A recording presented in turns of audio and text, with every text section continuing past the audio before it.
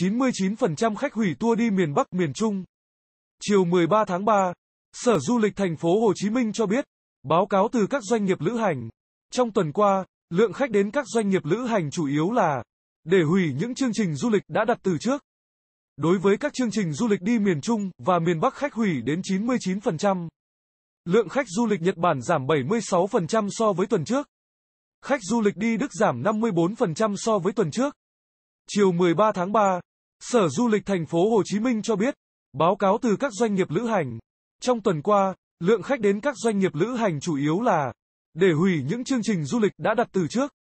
Đối với các chương trình du lịch đi miền Trung và miền Bắc khách hủy đến 99%. Lượng khách du lịch Nhật Bản giảm 76% so với tuần trước. Khách du lịch Đức giảm 54% so với tuần trước. Nhìn chung, trước tác động của dịch COVID-19 lượng khách đăng ký các chương trình du lịch giảm mạnh. Doanh thu của các doanh nghiệp lữ hành bị ảnh hưởng nặng nề và giảm mạnh so với cùng kỳ. Theo báo cáo của 25 cơ sở lưu trú du lịch, thì tình hình kinh doanh của hệ thống cơ sở lưu trú du lịch, nhà hàng ăn uống và cơ sở mua sắm giảm mạnh so với cùng kỳ năm 2019. Cụ thể, doanh thu từ các cơ sở lưu trú du lịch giảm 58,29%, kinh doanh hội nghị giảm 60,8%, kinh doanh nhà hàng, tiệc và kinh doanh khác giảm 60,1%. Thống kê từ Sở Du lịch thành phố Hồ Chí Minh, lượng khách quốc tế đến thành phố trong tháng 2 năm 2020 giảm 52% so với cùng kỳ năm 2019, 2 tháng đầu năm 2020.